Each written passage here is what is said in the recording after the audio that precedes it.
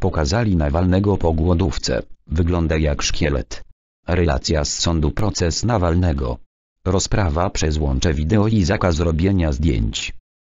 Rosyjski opozycjonista Aleksiej Nawalny bierze w czwartek udział poprzez łącze wideo w posiedzeniu sądu, który rozpatruje apelację od wyroku w sprawie domniemanego zniesławienia weterana wojennego. Nawalny mocno schudł. Mediom nie wolno robić mu zdjęć. Ekranu, na którym widać Nawalnego w trakcie transmisji wideo nie wolno fotografować, wyjaśnia niezależna telewizja DOR. Opisuje, jak wygląda Nawalny, w okularach, chuda twarz, ogolony, ale włosy mu już odrosły, siedzi koło okna. Na posiedzeniu sądu obecna jest żona polityka, Julia. Nawalny, rozmawiając z nią w trakcie rozprawy sądowej, powiedział, że waży 72 kg i wygląda jak szkielet.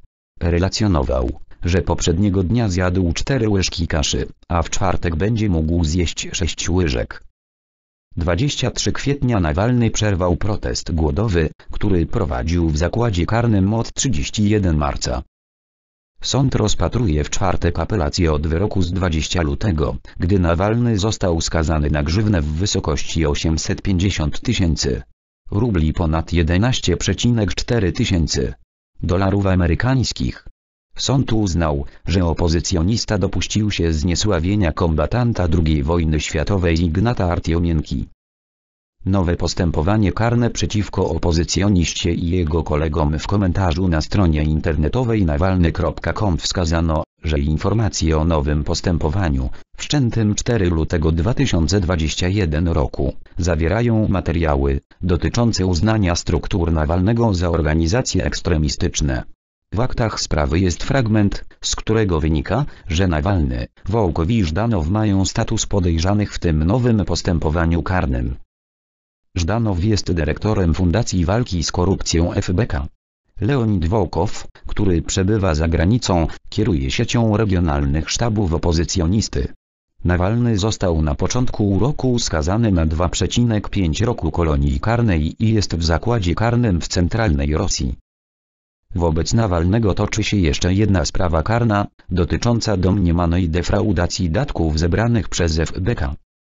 Wniosek prokuratury o uznanie założonej przez Nawalnego Fundacji Walki z Korupcją FBK za organizację ekstremistyczną sąd w Moskwie rozpatrzy w maju bieżący rok.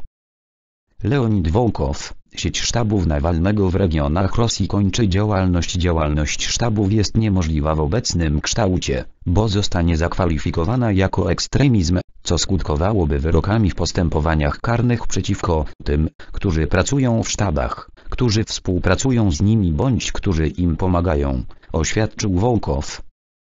Praca w takich warunkach jest niemożliwa. Oficjalnie rozwiązujemy sieć sztabów Nawalnego, poinformował. Zapewnił przy tym, że zwolennicy opozycjonisty nie opuszczają rąk. Są dziesiątki silnych i świetnych polityków regionalnych i tysiące ich zwolenników. Są silne i samodzielne organizacje polityczne, które będą zajmować się materiałami śledczymi i wyborami, kampaniami społecznymi i mityngami, oświadczył Wołkow. Sieć sztabów Nawalnego w regionach Rosji powstała przed rokiem 2018, gdy opozycjonista zamierzał startować w wyborach prezydenckich, do których później nie został dopuszczony. Sztaby zajmowały się koordynacją demonstracji zwolenników Nawalnego, które odbywały się w późniejszych latach w wielu miastach Rosji, pod hasłami przeciwko korupcji.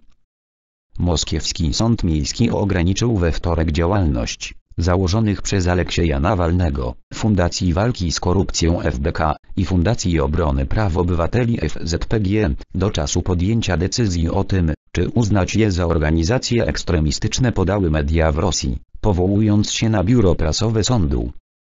Zgodnie z decyzją sądu, FBK i FZPG zostały objęte zakazem niektórych działań, co, według obrony, oznacza, że nie będą one mogły współpracować z prasą, organizować imprez publicznych, korzystać z banków i uczestniczyć w wyborach. O uznanie ich za organizacje ekstremistyczne zwróciła się do sądu prokuratura.